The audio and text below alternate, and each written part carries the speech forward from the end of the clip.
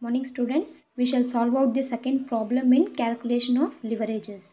So we have problem like this, calculate operating and financial leverage from the following. So they have asked you to calculate operating and financial leverage. Please make sure that you know all the formulas so that it will become easy to you to calculate the problems here. Okay, so in this they have given sales 1 lakh units at rupees 5 per unit. So directly they have given 1 lakh units at rupees 5 per unit. So we have to multiply 1 lakh into 5 to get total sales amount.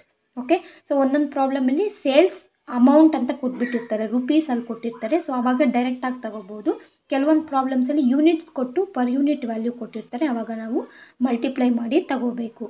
So next we have variable cost at rupees one per unit so rupees one per unit ಕೊಟ್ಟಿದ್ದಾರೆ but how many units ಕೊಟ್ಟಿಲ್ಲ? So as a said you sales and variable cost will be having a direct relationship ಹಾಗಾಗಿ sales one lakh units ಅಂತ ಕೊಟ್ಬಿಟ್ಟಿದ್ದಾನೆ.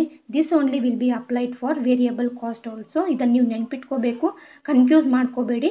ಇಲ್ಲಿ per unit ಅಂತ ಕೊಟ್ಬಿಟ್ಟಿದ್ದಾನೆ. ಎಷ್ಟು units ಅಂತ ಕೊಟ್ಟಿಲ್ಲ. So already ಸೇಲ್ಸಲ್ಲಿ units ಕೊಟ್ಟಿದ್ದಾನೆ. ಇದನ್ನೇ ನಾವು ತಗೋಬೇಕಾಗುತ್ತೆ. So variable cost at rupees one per unit Next we have fixed cost 1 lakh, interest expenditure 20,000 they have given directly. So to look at the given information, sales, so 1 lakh into rupees 5 per unit we will get 5 lakh rupees as sales. Variable cost that is 1 lakh units into rupees 1 per unit we get 1 lakh.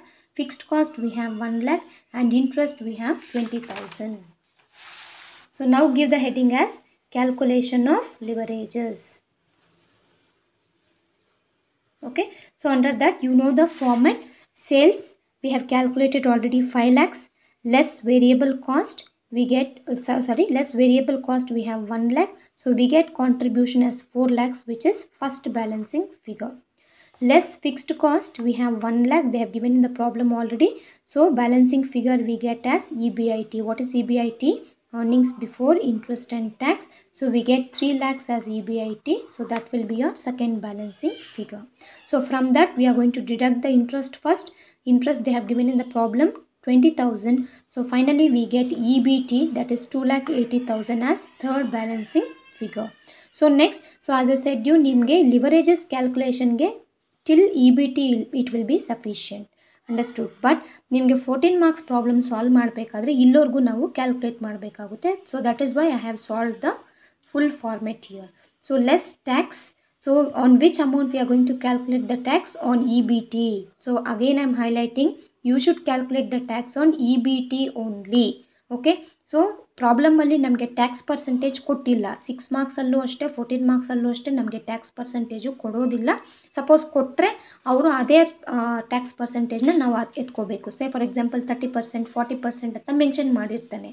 Understood so ಅವಾಗ ನಾವೇನು ಮಾಡಬೇಕು? ಅದೇ ಪರ್ಸೆಂಟೇಜ್ನ ಎತ್ಕೊಂಡು ಇಲ್ಲಿ ಹಾಕ್ಕೋಬೇಕಾಗುತ್ತೆ. Suppose ಕೊಟ್ಟಿಲ್ಲ ಅಂತಂದರೆ we have to assume the corporate tax at fifty percent understood so two lakh eighty thousand into fifty percent it will become 1 lakh 40,000 and finally we have 1 lakh 40,000 left out we call it as EAT that is earnings after tax okay next we have we are going to deduct preference share dividend so preference share dividend ಕೊಟ್ಟಿದ್ದಾನ problem ಅಲ್ಲಿ ಕೊಟ್ಟಿಲ್ಲ so finally we will be having the balancing figure that is earnings available to equity shareholders understood so this is how you are going to use the format and you are going to calculate this leverages so ನಾನು ಇಲ್ಲಿ ಯಾಕೆ one two three ಅಂತ ಬರೆದಿರೋದು ನೀವು ಪ್ರಾಬ್ಲಮಲ್ಲಿ ಬರೆಯೋ ಅವಶ್ಯಕತೆ ಇಲ್ಲ but formula ರಿಮೆಂಬ್ರೆನ್ಸ್ಗೋಸ್ಕರ ಬರೆದಿದ್ದೀನಿ. ಸೊ ಆಪರೇಟಿಂಗ್ ಲಿವರೇಜ್ ಅಂದಾಗ contribution divided by E B I T that is one divided by two first balancing figure divided by second balancing figure ಮಾಡಿದಾಗ operating leverage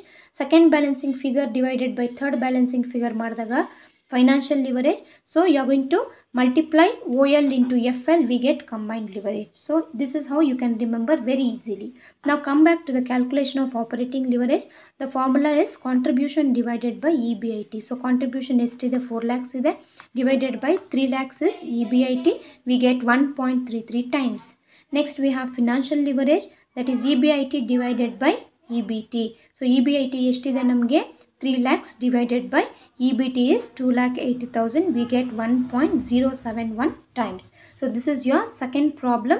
So ಇಂಥ ಪ್ರಾಬ್ಲಮ್ಸೇ ನಿಮಗೆ ಸಿಕ್ಸ್ ಮಾರ್ಕ್ಸ್ಗೆ ಕೇಳೋವಂಥದ್ದು very important very easy and very simple problems if you have any doubts you can ask me guys thank you